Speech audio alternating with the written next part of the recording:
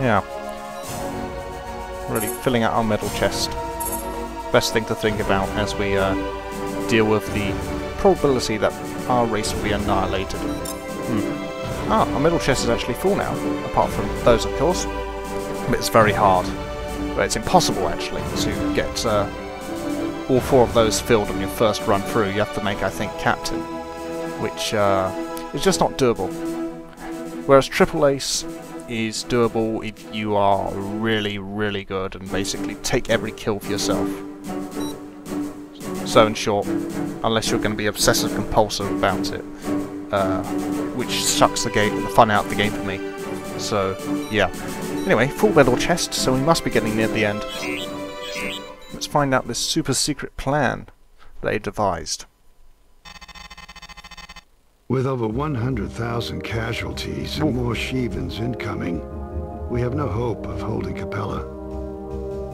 Our only real chance is to seal off the system and prevent the invasion from spreading to other Terran Vasudan worlds. If we fail to contain the Shivan advance, we will unleash the Second Great War, a conflict we have virtually no chance of surviving. The Lucifer fleet we defeated 32 years ago is nothing compared to the strength of this armada. Command is committed to getting every last Terran out of the system. Over 80 Shivan juggernauts are now in position around the Capella Sun. Science vessels monitoring their activity have detected an anomalous subspace field rippling from the Juggernaut fleet. Though we can barely detect the field with our instruments, its intensity has been increasing slowly over the past 72 hours. We have known since the Great War that the Shivans possess advanced subspace technologies, but this field goes beyond our wildest speculations. The Shivans may be powering up a new kind of weapon the likes of which we have never before encountered. Who knows why they'd need it? Preparations are now underway to collapse the Epsilon Pegasi jump node. A Great War-era destroyer, the GTD Bastion, will contain multiple Meson warheads that will detonate inside the node.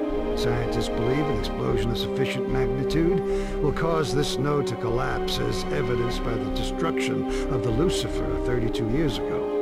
The detonation of the Lucifer's reactors sealed off the Sol jump node in Delta Serpentis and severed all contact with Earth.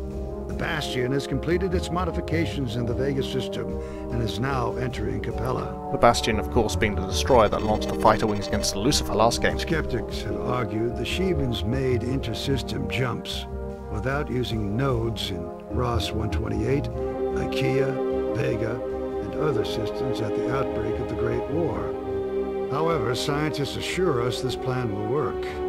Though Shivans have used uncharted nodes and nodes too unstable for Terran and Vasudan vessels, they are as dependent on jump nodes as we are. Nevertheless, we must accept this strategy as nothing more than a temporary measure. Once we have evacuated all civilian and military personnel from the Capella system, we will send a second destroyer, also carrying Meson warheads, through the Capella jump node in Vega. If we succeed in sealing off both nodes, the Alliance will have trapped the Shivans in this system.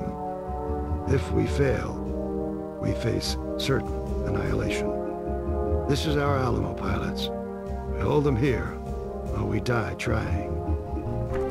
Certainly sounds like it. Uh, this plan is pretty desperate considering Capella is a viable system, 250 million refugees, and all the logistical nightmare. Uh, plus permanently losing two systems, which uh, and access to Nebula as well. So, not a measure to be taken lightly, but probably in the face of 80 Shivan Juggernauts, um, the wiser of two potential decisions. The GTD Bastion will enter the Capella system in 1835 hours. We're sending in the 116th to escort the warship into position. Our forward observer units near the Juggernauts are calling for backup, so we'll send in the 83rd.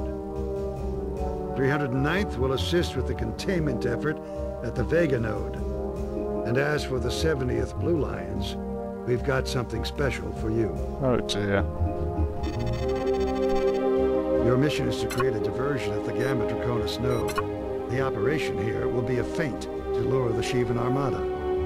The Colossus and his group will form a battle line near the node. By focusing our firepower here, we'll draw the brunt of the Shivan offensive. Meanwhile, on the other side of the system, the Bastion will collapse the node to Epsilon Pegasi. Your objectives are simple. Destroy all enemy targets.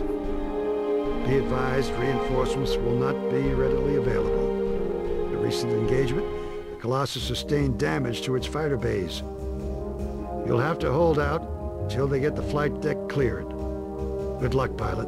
Ain't that always the way? Please review your objectives for this mission. Okay, neutralize all enemy fighters and destroy targets of opportunity. Pretty simple, and a quite a large selection of ships. So we should probably stick Gamma Wing and Hercules Mark IIs just for their own safety. we all know how the AI fa fares in Lightcraft. There we go. Yeah, weapons. I'm actually happy with that combination. UD-8 Kayser is excellent for dogfighting, while the Maxim is great for taking out harder targets at range, which we're doing quite a bit of. Trebuchets, we don't want trebuchets because... Uh, let's give them harpoons over tornadoes. The Erinyes at least. And yeah, Maxim cannons will help as well.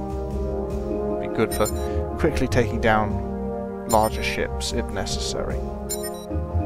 Which probably will be necessary. And we've got tornadoes going there. You guys, meanwhile... Okay, that should do. And what missile should I take? How many trebuchets can we fit? We can fit six trebuchets down there. In that case, I'm going to probably take uh, some Tempest Dumbfires for the dogfighting segments of this.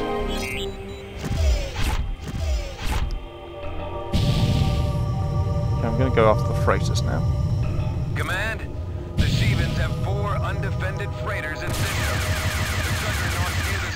Have not responded to our deployment. Proceed, Colossus. We are sending in the fleet to attack the freighters.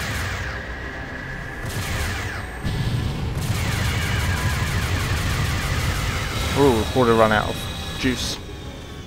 We want to recharge.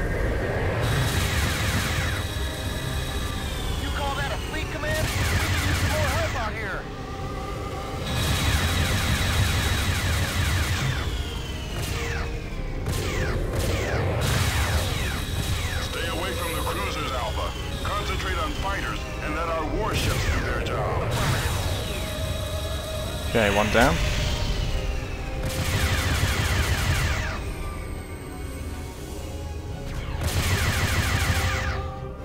This is Beta Wave. What's your status? Good, beta's here. Cain-class cruiser has now entered from Gamma Draconis.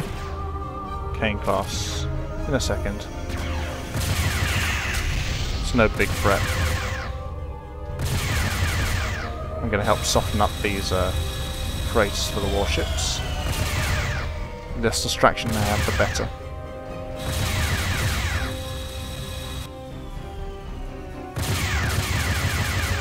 Okay, I'm going to go after Cain now.